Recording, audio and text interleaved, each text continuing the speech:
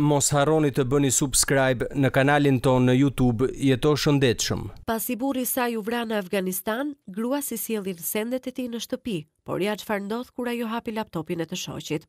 Frika më e madhe e çdo gruaje ushtarake është që të shohë oficerë në derën e saj ndërsa burri i saj ka shkuar në një mision. Lajmi me të cilin këta oficerë vijnë nuk është kurrë i mirë. Emma Weaver u përball me këtë situatë disa vite më parë dhe ajo ishte tërësisht zemërthyer. Burri i saj kishte vdekur në një mision atë mëngjes. Jo vetëm që Todd Weaver la pas gruan dhe vajzën e tij të vogël, por gjithashtu i la atyre disa letra në rast se i ndodhte. Fjalët e tij të mbushin sytë me lot. Ata kanë qenë së bashku në momentet më të bukura të jetës së tyre, por një ngjarje fatkeqe do t'i ndante ata nga kjo botë. Ishte nëntë shtator dhe Ema u zgjua së pari nga Kilej, më pas nga dikush tjetër që trokiti në derë. Ndërsa e hapi ajo pa dy oficerë të veshur me uniformë që dhanë lajmin e tmerrshëm, Todd kishte vdekur dhe Ema ndihej sikur po copëtohej në miliona copash. Ema pranoi se bota e saj u shkatërrua menjëherë kur zbuloi se ajo kurrë nuk do ta shihte dhe do ta dëgjonte përsëri burrin e saj. Për më tepër, vajza e saj kurrë nuk do ta njohë babanë e saj. Trupi i Toddit u kthye nga Afganistani, ai u varros në varrezat kombëtare të Arlingtonit,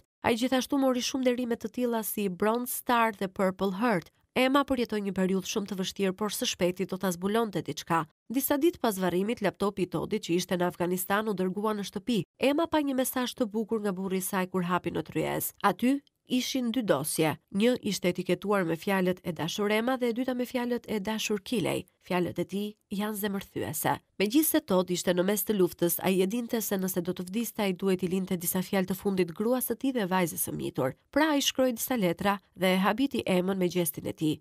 Fjalët e tij e ndihmuan të vazhdonte. Todd thotë, Edhe pse ai ka jetuar një jetë të shkurtër, ai mori gjithçka që ai ëndërronte. Unë u martova me gruan e përkryer.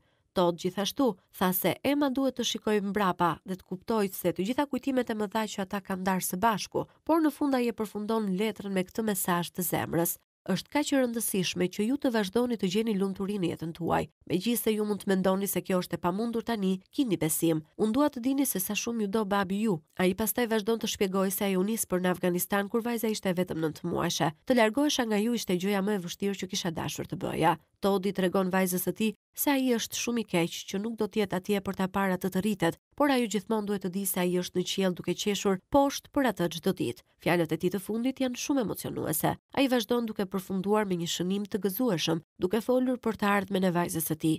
Gëzohu dhe mbaj mend, babi juaj gjithmonë do të jetë krenar për ju dhe gjithmonë do t'ju dojë. Ti je dhe do të jesh gjithmonë e dashur.